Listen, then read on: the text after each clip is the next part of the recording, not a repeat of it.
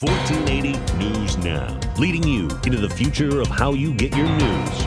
Local, dependable, on demand. For 1480 News Now, I'm Phil Kuhn. Two people have been arrested on drug charges following a pursuit early this morning.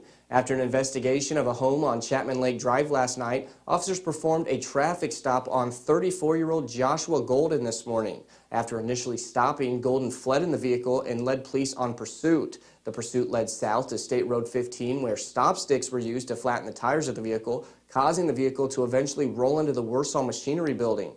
Golden was then taken into custody. Police located four pot meth labs in the vehicle. Golden is being held in the Kosciusko County Jail with no bond. Also arrested was Golden's girlfriend, 32-year-old Jasmine Curie. She's also being held at the Kosciusko County Jail on $2,000 bond.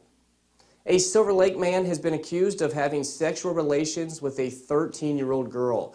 40-year-old Dustin Edward Owens allegedly has been having sex with the teen, who is now 32 weeks pregnant. Court documents say a caseworker from CPS talked with the victim, and the teen claims Owens is the only person she's had intercourse with. However, Owens claims the child is not his. The caseworker was informed that the intercourse with Owens started in April when the victim was only 12 years old. According to the affidavit, the intercourse happened at Owens' residence. The caseworker also spoke with the victim's 12-year-old sister who said Owens kissed and touched her inappropriately. Owens is currently being held at the Kosciusko County Jail with no bond. Your weather's coming up in 15 seconds.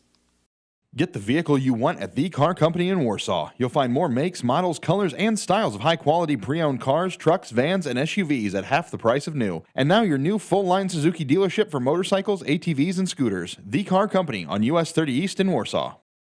Looking at your Storm Team 16 forecast, tonight will be cloudy with occasionally light rain and a low of 40. Tomorrow will continue to be cloudy with some showers likely and a high of 44. And Wednesday will be colder with a high of 31 and partly cloudy. Average retail gasoline prices in Indiana have fallen 13.4 cents per gallon the past week, averaging $2.46 a gallon. That's according to GasBuddy.com. That compares with the national average of $2.57 a gallon. Prices yesterday were 74.8 cents per gallon lower than the same day one year ago and are 45.4 cents per gallon lower than a month ago. For 1480 News Now, I'm Phil Kuhn. Thanks for watching.